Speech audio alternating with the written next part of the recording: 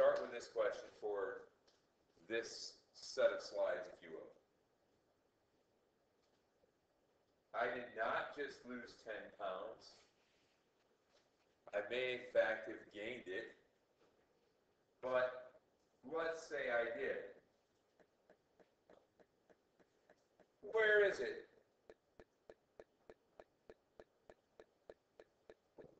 All right. So we're not sure where it went. We know it's probably, well, it could be in the toilet, but or in the or whatever. Okay. Before we even get that far, we have to talk about what actually makes us go. And the thing that makes us go is something called ATP. ATP is adenosine triphosphate. ATP is a molecule of energy.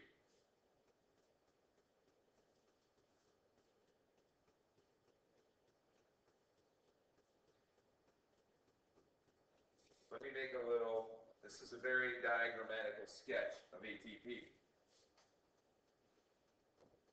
I'll get out of the way in a minute.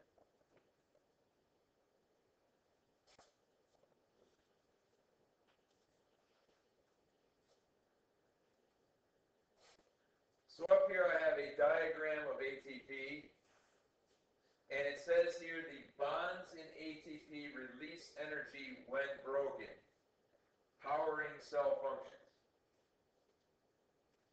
The bonds in ATP release energy when broken, powering cell functions. So what this means is that this is a adenosine, and triphosphate means three phosphate molecules. It's a molecule that I'm just I'm making this very diagrammatic, but here we have a bond. This little squiggly line is a chemical bond between two phosphate molecules. Okay? Those phosphate molecules naturally repel each other, but because they're we the cell provides a chemical bond and they're bonded together, so if we break this bond, energy is released. And we're going to go over this again in a minute. There's an energy release. Okay, and that energy is used to power the cell. Now hold on a second, time out. Maybe we should talk about what this is. Maybe we should talk about what energy is. What the heck is energy?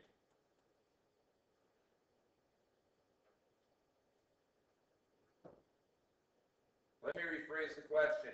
What is energy?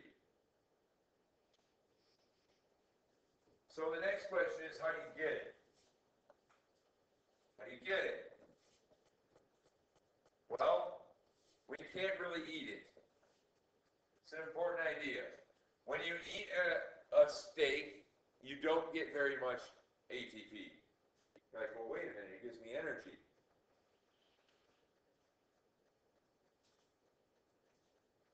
I thought eating gave me energy. Uh, no.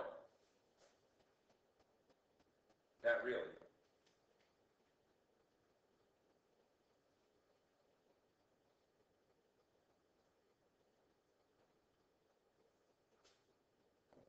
Doesn't really give you energy. See, we have to make it. It being ATP. We have to make ATP.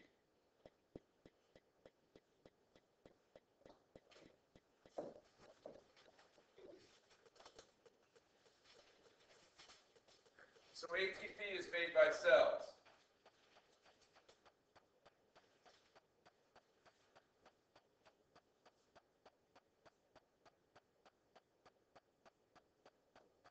In a basic process of this, chemical bonds are broken by enzymes.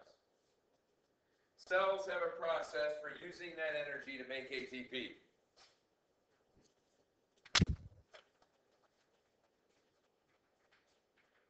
Chemical bonds are broken, which releases energy. We'll explain that in a minute by enzymes.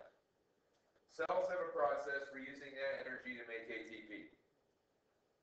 So the breaking of chemical bonds in the paper and the breaking of chemical bonds in your food releases energy.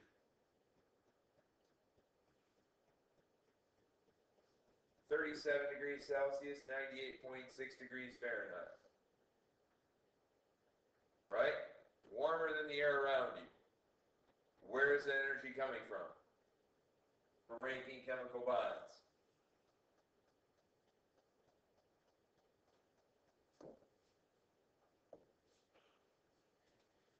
The major fuel for making ATP is something called glucose. Glucose is a simple sugar, also known as a carbohydrate.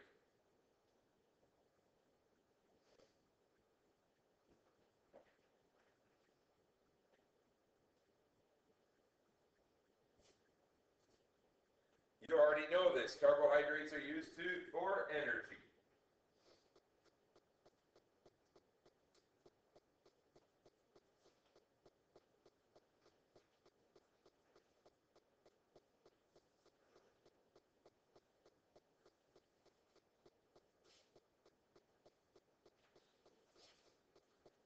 Besides carbohydrates, what else do you eat? Can you live on just protein? Sure you can. It's called the no carbohydrate diet.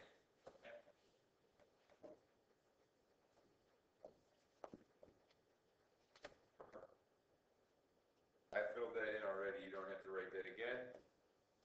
So what about protein and fat? Well, it just so happens that protein and fat can also be used as fuel. But it takes a longer time to break those down. So we say that they're not, quote, quick energy like carbohydrates are.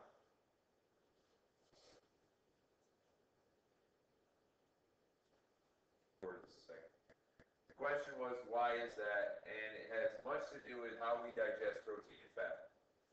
Okay, so protein has to be because of its structure, its amino acids, uh, has to be broken down in the liver first before being after, okay, it gets digested, then goes to the liver, then it's broken apart, and then is used.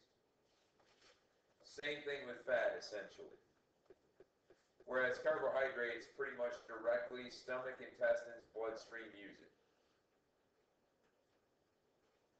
That's the best answer I can give you.